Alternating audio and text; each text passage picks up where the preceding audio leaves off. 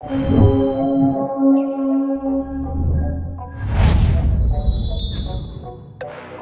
привет! Это канал ИЗСО. Сегодня у нас очень интересная тема будет видео. Обычно мы рассказываем, какие же наши станки крутые. Давайте проверим, так ли это на самом деле.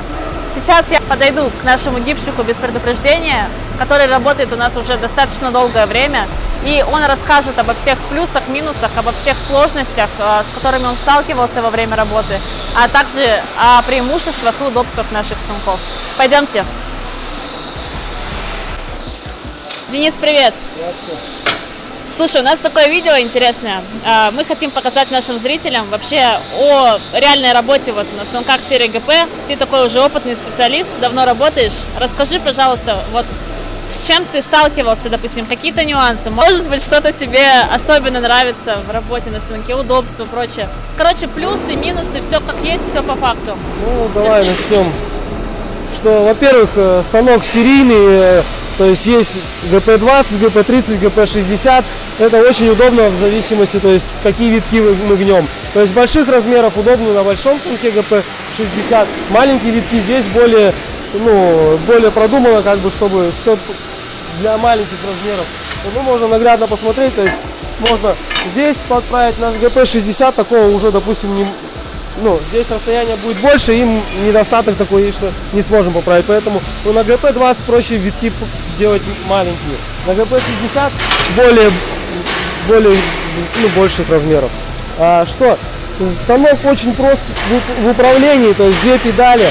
А, программа настраивается по техническому заданию. А, ножи. Ножи имеют большую оснастку, то есть можно разных, разных э, категорий сложности витков исполнять, во-первых, разной геометрии. Замена ножей происходит буквально там, ну, 4-8 болтов отключили и все, уже можно настроиться на другой виток. Что еще? Ну, э, очень просто в управлении, да, я говорил уже, в обслуживании тоже очень, в принципе, что тут две солотницы и гидро, гидронасос, который, в принципе, там свой фильтр имеет, масло можно там ну, менять намного реже. Ну, в принципе, вот как-то так.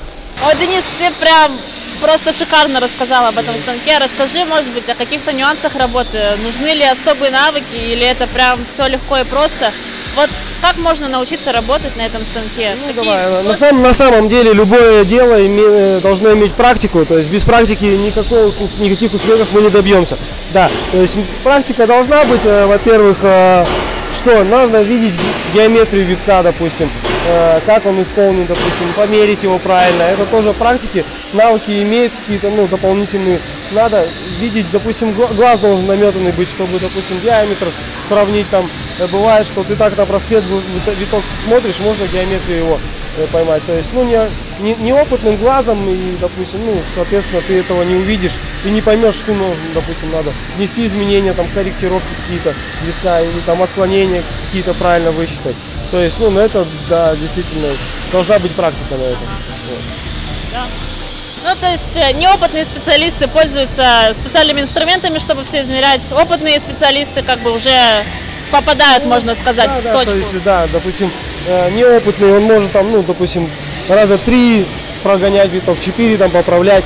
Э, опытный, он уже вот у него там с первого раза может виток. Ну, есть сложные витки, которые с первого раза все равно не получится, но как бы глаз, глаз когда наметан уже и рука, э, ну, понимает, что делает, тогда уже, да, конечно, намного быстрее и проще это все делается. Все, спасибо тебе большое за обратную связь. Ну вот такое интересное интервью у нас получилось с нашим гипщиком. А, скажите, если вообще вам такой формат нравится, делать ли больше таких интервью с нашими сотрудниками? Если да, то пишите нам в комментарии.